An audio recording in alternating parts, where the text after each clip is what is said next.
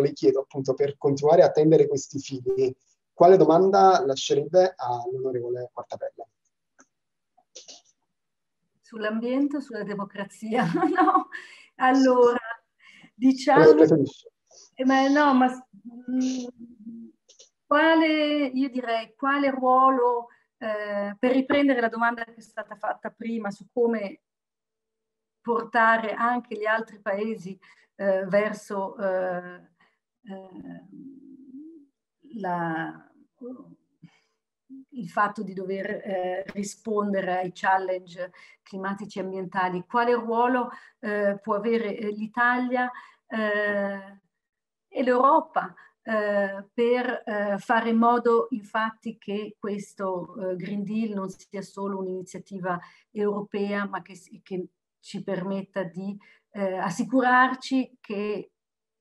nostre, i nostri cambiamenti non portino a ehm, il problema al di fuori delle nostre frontiere, ma che insieme con eh, gli altri paesi e penso soprattutto al continente di cui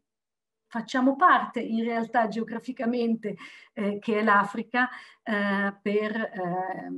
assicurarci che, ehm, sì, che lavoriamo insieme eh, con gli altri continenti verso un futuro sostenibile.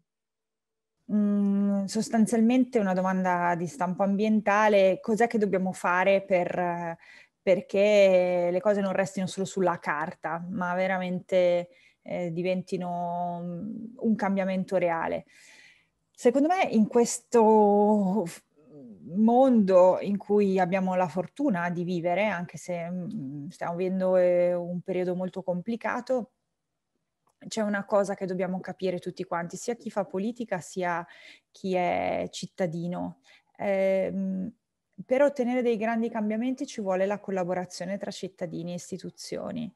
Eh, non basta scrivere delle leggi, non basta scrivere degli impegni europei, non basta prendere delle decisioni, per quanto difficili, come è successo tra giovedì e venerdì al Consiglio europeo, dove ci si è dati l'obiettivo di arrivare al, 55 per, al taglio del 55% delle emissioni entro il 2030, quindi praticamente domani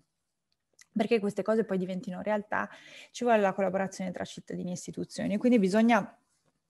creare un rapporto di cittadinanza nuovo eh, in cui si coinvolgono i cittadini nei cambiamenti e si discutono i modi migliori per, eh, perché i cittadini prendano parte a questi cambiamenti. Questo è un ragionamento, insomma, di una cittadinanza nuova, più consapevole, più partecipativa, più interattiva e dobbiamo tutti quanti noi modificare eh, il modo in cui eh, ci facciamo protagonisti eh, appunto di questi cambiamenti.